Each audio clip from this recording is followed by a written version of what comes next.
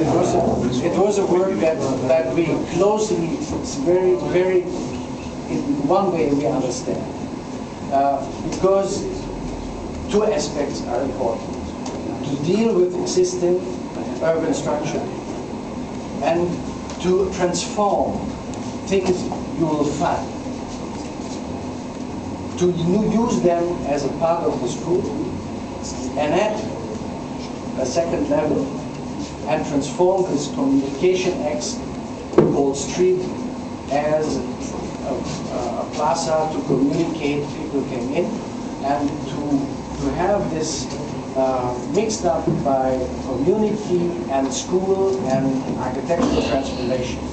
Uh, this was this is very clearly expressed, and that is as simple as inspiring, and uh, it's believable that you have there inspiring working areas for architects for working in communities because we believe uh, that it's very important that an architect has a camp, you know, a camp inside the communities and make that transformation of the quarters and the city by interacting.